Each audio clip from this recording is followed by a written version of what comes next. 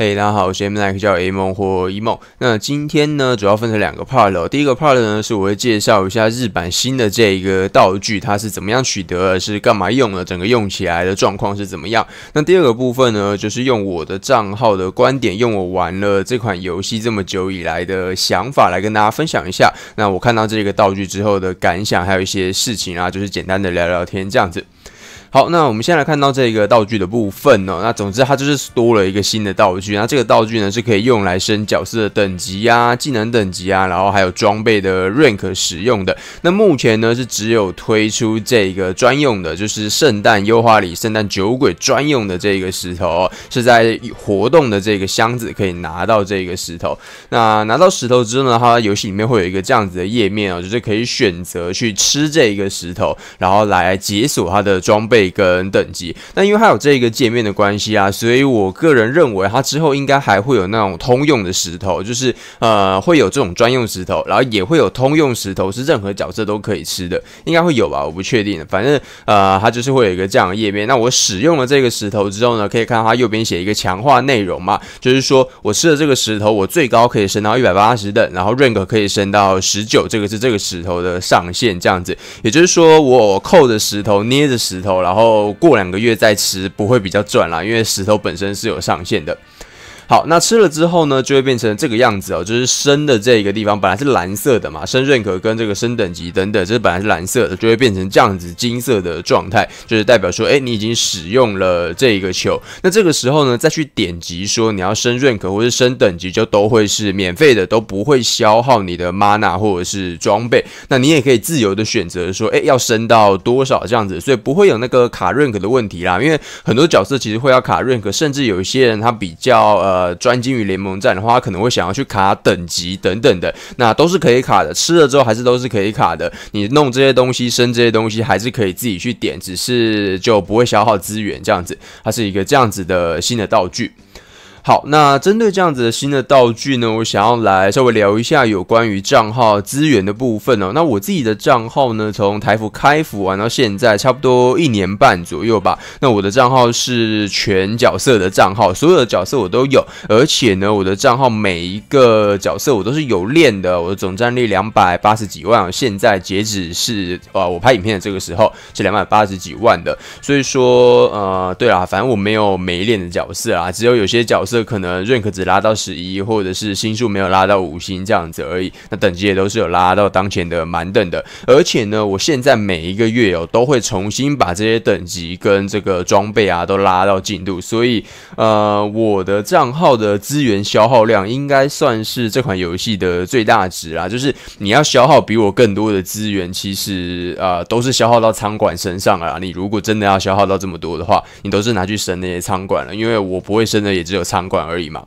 所以呢，呃，以我的账号的情况来说，现在啦，现在这几个月最近呢，我是只有买季卡跟月卡，就是呃每日保持礼包跟那个三个月一次的那个九十天的那一个保持礼包，我目前是只有买这两个保持礼包的，那其他都是没买的。那呃，资源的部分也都是够用的。我的 mana，如果你有发了我的扑浪啊，或者讯息等等的，应该都可以了解到，说我 mana 是超绝溢出来的状态哦。就是上个月嘛，十月的 rank 升完，十月开图开等嘛。那我升完之后，我的 mana 还有八亿多，然后我现在 mana 有九亿多了，现在才月初而已，十二月一号，我的 mana 就九亿多了。所以，对我的 mana 是处于超级溢出的状态。那装备的部分呢，其实也没有什么太大的问题啦。但是我的账号可以处。处于这样子的状况，就是说我花那么多的资源升角色，然后呢，呃，只刻月卡跟季卡的情况下，还可以让资源量这么多的主因，还是在于说吃体的数量啊，就是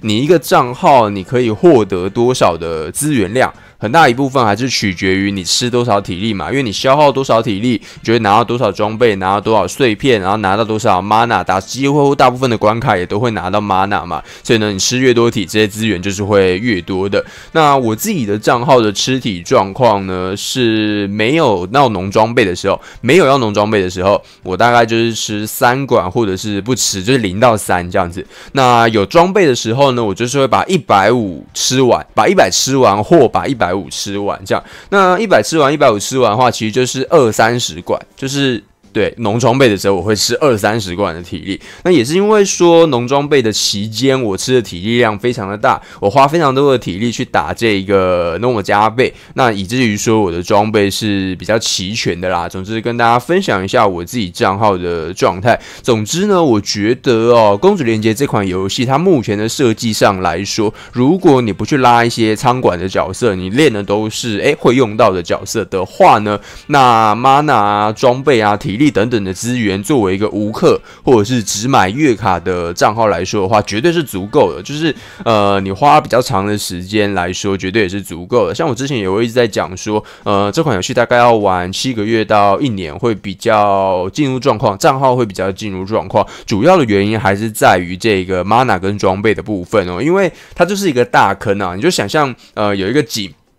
有一个洞。那你每个月获得的 mana 跟装备，就是不停的去填这一个洞。那每个月新增的装备跟新增的角色，就会让这个洞变得更深。那其实已有买月卡的情况下来说，你每个月填进去的资源，绝对是比每个月洞变深的幅度还要再更大的啦。你的资源量一定是来得及的，只是要花比较久的时间啦，可能要玩七个月到一年这样。所以满等并不是一个这个游戏的呃结束吧，应该是说满等才开始啊，有一点这样子的感觉。毕竟。满等之后，你可以把角色的练度拉到满，你可以把装备穿到满等等，才有开始去在这个 PVP 啊，在联盟战跟其他的满等玩家竞争的一个资本嘛。所以这只是一个呃开始进入那一个部分的门槛吧，开始进入那一个部分的一个门票这样子的感觉。所以说大概就是这样子啊。只是呢，他现在推出这一个石头，而且目前看那一个界面啊，就是呃我刚刚提到的。它的那个穿的这个界面，这个界面看起来很像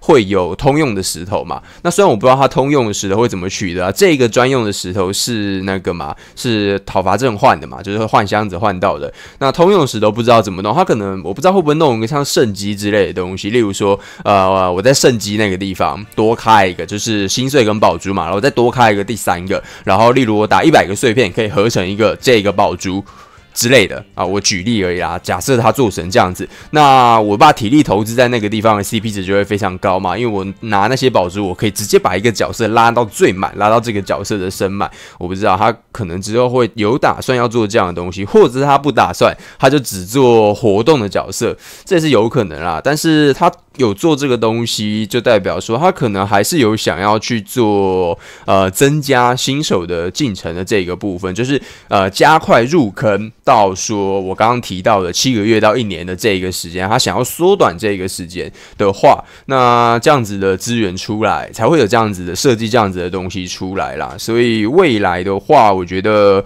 嗯，也许也会想要往这个方向走。就是我一直会讲说，官方想要怎么做，想要怎么做，因为我。觉得他们如果有想要做东西才会出来，他们如果没有想要做的话，东西就不会出来。这听起来很像废话，但是事实上就是这个样子。他们如果没有想要缩短这个游戏的进程，就是缩短这个入坑到满等啊，入坑到这个开始可以打联盟战跟 PVP 比较专精的这个时间的话，他没有想要缩短的话，那他就会是维持这样子，甚至还会渐渐的加长，因为呃，我每个月都会开等嘛，所以等级会越来越高嘛。那我入坑是一等嘛。我要升到满等的时间就越来越久，就需要越来越多的 mana 升这个角色的技能等等的，所以只会越来越久。所以他至少是有想要维持吧，所以才会出这样子的东西啦。我的想法是这个样子的。好，那今天呢，就是快速跟大家介绍了一下日版这个最新的系统，然后以及说我自己个人看到这个系统的一些想分享的东西、一些感想，好不好？那今天的影片就到这边，谢谢各位。